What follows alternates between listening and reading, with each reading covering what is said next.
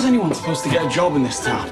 Ladies and gentlemen of the board, Sir Paul Carpenter. Glad you found us. What do you do in your spare time? Well, all my time is spare, really.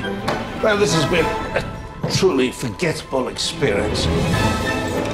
Thank you for your smashing interview. We were unanimously impressed. We expect nothing less than excellence from our employees. Any idea what they do here? We've hijacked a client's instincts to arrange coincidences. Do you make people fall in love?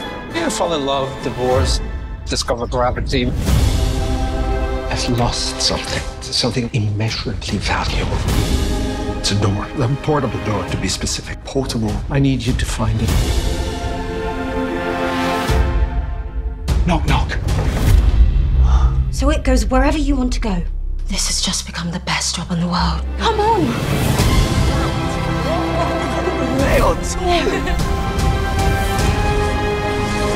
Operation Fine Print. We were able to influence this young consumer. Imagine what we can do to the masses. We have to do something.